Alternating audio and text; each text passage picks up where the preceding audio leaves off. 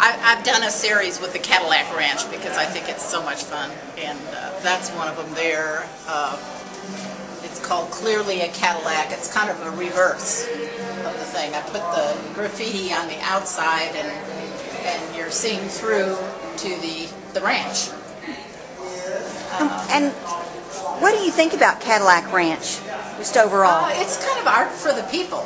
I, I love it. Every time we have somebody in town, we bring them out there with spray paint, you know, and try to go uh, because everybody adds their touch to it, and it's constantly changing. And I love that idea of art. That art is for everybody. It's not just for, you know, it's it's, it's not something that's just in a museum. Art happens all the time. Whoops, I'm sorry.